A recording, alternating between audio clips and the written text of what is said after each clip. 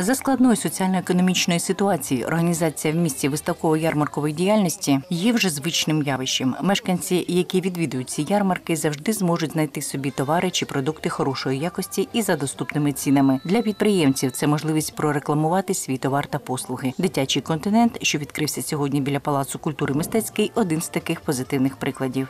В основном мы работаем под ярмарку с мальчиком, с детским ассортиментом на мальчика. Костюмы, брюки, рубашка, ремни. Э, Ну, стараемся цены э, держать немножечко ниже, конечно, чем везде.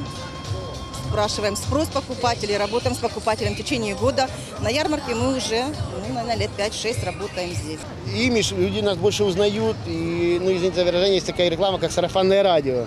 Вот нам из, из других городов приезжают и покупают. И, уже не первый год сотрудничаем, и довольны и мы, и те, кто покупает нас. И стараемся, чтобы и то- и товар был качественный, и, соответственно, цена была невысокая. Потому что я сам не только как частный предприниматель выступаю, а и отец. С пониманием отношусь. Шкільна форма, білизна, аксесуари, взуття, концтовари та рюкзаки. Весь цей асортимент не залишився без уваги. 1 вересня не за горами, тож і попит на шкільні товари великий. Зібрати дитину у школу святий обов'язок, зібрати якісно велика праця. Мами наперед розрахували шкільний бюджет. Від цих сум вони не в захваті, навіть якщо купувати все за скромними цінами. Можливо, дитячий континент допоможе їм. Я рассчитываю, что где-то 5 тысяч гривен потратить на школу, на ребенка. Это собрать и канцелярия, м, рюкзак плюс одежда. Но я думаю, что это еще и не все. Тысяч десять. Шесть однозначно. Это если осень, ну, то есть сапожки, курточки, все такое. Хочется выгадать такое соотношение цена-качество, выбрать самое лучшее и чтобы по доступной цене. Но мы вот пришли, смотрим, выбираем. В принципе, выбор есть, ассортимент нравится. Протягом роботи ярмарку проходитимуть традиційні благодійні акції. У день його відкриття кільком першокласникам, чиї батьки воювали в АТО, підприємці подарували ранці з шкільним приладдям. Міська спілка перукарів також підготувала для них бонус.